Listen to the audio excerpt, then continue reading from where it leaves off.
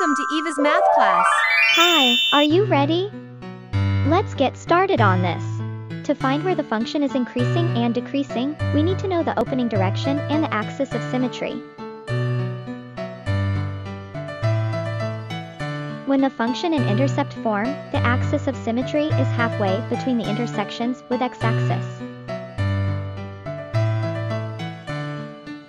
From the expression, we can identify the x-intercepts are p is equal to negative 2, q is equal to negative 4. So the parabola passes through the points parentheses negative 2, 0 and parentheses negative 4, 0.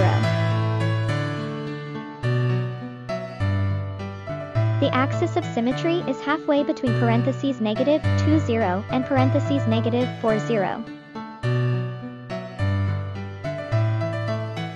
So the axis of symmetry is line x is equal to negative 2 minus 4 over 2.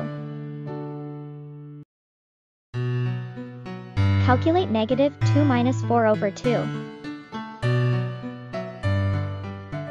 Then we can get negative 3. So the axis of symmetry is line x is equal to negative 3. We can find that the value of it is negative 3, less than 0. So the parabola opens down. We know opening direction is down, and the axis of symmetry is x is equal to negative 3.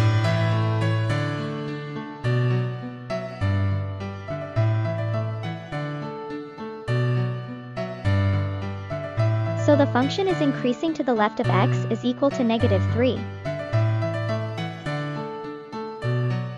Decreasing to the right of x is equal to negative 3. Bravo! You solved this question.